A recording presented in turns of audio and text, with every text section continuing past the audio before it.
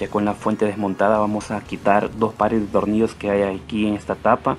Son dos grandes que son los que sostienen el ventilador que está dentro y dos pequeños. Vamos a quitar los cuatro tornillos para poder levantar esa parte plástica que cubre el ventilador. De ahí solo levantamos y ahí tiene que salir ya esta pieza donde va puesto el ventilador. Ahí está bien polvoso.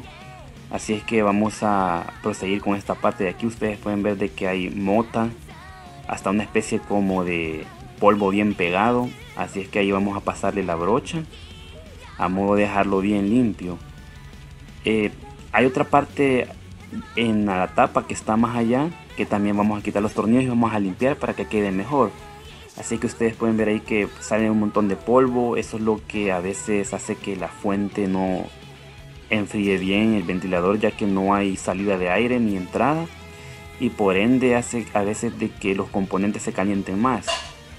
Ahí pueden ver ustedes de que hay unos respiraderos los cuales vamos a, a pasar bien la brocha a modo de que no quede nada de obstrucción ahí este es lo que les digo que vamos a quitar esos dos tornillos para poder levantar esa otra pieza ya que ahí hay otros respiraderos los cuales también con el tiempo se ensucian. Son dos tornillos pequeños también que que se quitan. Eh, recuerden que aquí tenemos que usar dos tipos de destornillador uno fino y uno, uno más grueso para los demás tornillos. Ahí pueden observar de que también hay agujeros el cual tiene que quedar limpio también esa parte para que no no nos dé eh, más calor pues en la fuente y, que ahí pueda salir y entrar el aire también limpiamos bien con el trapo asegurándonos también con la brocha que, que quede bien limpio soplamos aquí no es necesario tener ningún tipo de soplete ni aire comprimido ya que esto lo pueden hacer ustedes sin costo alguno y, no gastar nada. Ahora seguimos con lo que es el ventilador. Este viene metido en esta base, ahí hay un agujero. Lo vamos a sacar ya que ya habíamos retirado esos dos tornillos grandes que eran los que sostenían ese ventilador.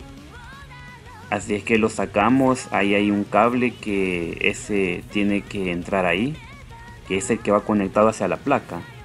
Entonces lo quitamos y aquí vamos a tener que limpiar bien el ventilador incluso vamos a tener que quitar una parte esta parte de aquí tiene tornillos cuatro tornillos los vamos a quitar para poder eh, limpiar bien el, el ventilador. Porque allí donde se encierra bastante el polvo y mucho polvo hace que también el ventilador se atasque y con el tiempo empieza a girar menos y también ahí es un gran problema ya que eh, va a empezar a, calentar más la fuente porque no hay una ventilación adecuada pues. Ah, así es que quitamos esa parte y ustedes pueden ver ahí de que también está bien empolvado. Vamos a hacer lo mismo le vamos a pasar la brocha. Aquí ustedes pueden eh, conseguirse un pincel también algo grueso. Yo lo hago con esta brocha también porque esta brocha es un poco blanda. Así es que de ahí que limpiamos volvemos a poner eh, la tapa recuerden poner siempre los tornillos porque si no se va a salir esa tapa se va a caer o se va a destrabar. Así es que hay que ponérselos y voy a adelantar un poco. Ya una vez puesto los tornillos vamos a limpiar la otra base. Ustedes ven ahí de que está lleno de polvo le pasamos la brocha dejamos bien limpio y volvemos a colocar el ventilador como debe de ser recuerden de que ese cable tiene que salir en ese agujero que está ahí porque si ustedes lo ponen al revés el cable no va a, alcanzar a salir de ese agujero. Así es que vamos a introducirlo. Luego ponemos los tornillos gruesos que son los que sostienen el ventilador. Son dos tornillos gruesos y son dos tornillos pequeños que son los que agarran toda esta parte hacia la tapadera de, la fuente aquí lo vamos a colocar este tiene que entrar también esta tapa con dos tornillos ahí Nos aseguramos también de que queden bien puestos los tornillos. Aquí no hay que hacerle mucha presión ya que como es plástico puede ser que se suben. Así es que atornillenlos al llegue como dicen. Luego ponemos la base que les decía, esa entra presión. Tiene que quedar eh, bien nivelada, no salida porque si no va a estorbar. Así es que ahí ya ustedes pueden ver de que ya la coloqué bien. Y solo falta poner los otros dos tornillos que son los que agarran la, la parte de arriba. Ahí nos aseguramos de que todo quede bien. Luego pasamos a la parte de la fuente que aquí vamos a, aparte de limpiar con la brocha, vamos a limpiar la parte también de abajo de la fuente. Luego eh, vamos a limpiar bien lo que es lo electrónico de la placa de la fuente. Lo vamos a limpiar bien con la brocha.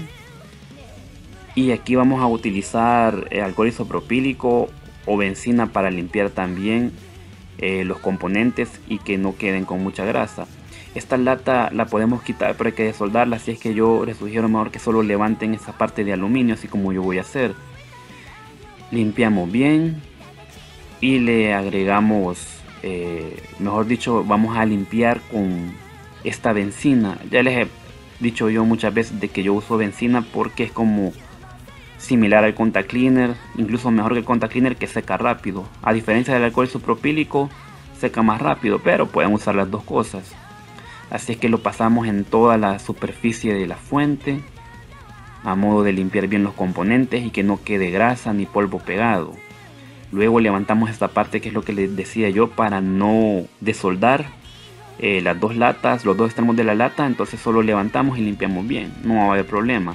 Lo hacemos llegar de nuevo, levantamos la otra parte y aplicamos de nuevo benzina con el cepillo Aquí podemos usar un cepillo de dientes también para que no se compliquen en andar comprando otro tipo de cepillos. Pues yo con un cepillo de dientes que esté bueno y ahí vamos. Así es que seguimos limpiando. Volvemos a, poner en su lugar la, esa lata de aluminio. Y ahora solo faltaría ya montarla en la parte de abajo. A modo de que los cables queden bien metidos y bien asegurados. Recuerden también yo al inicio cuando yo desarmé la fuente quité este esta pieza plástica que es la que hace que se vea la luz del LED y no quede el agujero. Así es que no se les olvide ponerla ni la vayan a perder porque a veces se caen. Eh, luego trabamos el cable que es el del ventilador. Nos aseguramos que quede bien cerrada y listo. Ya con eso ya nos podemos quedar tranquilos por lo menos un año para hacerle de nuevo el mantenimiento a la fuente. Ahora solo basta con poner, cerrar bien la fuente, poner los tornillos, por lo general son tornillos Torx, aunque hay unas que traen tornillo Philip. Esto es el mismo procedimiento para las fuentes de Xbox 360 FAT, ya sea la Slim, la FAT y la E. Y lo mismo con las, estas fuentes de One eh, de la FAT, ya que la, la fuente de la S va interna y prácticamente sería lo mismo, pero ahí les dejo este video.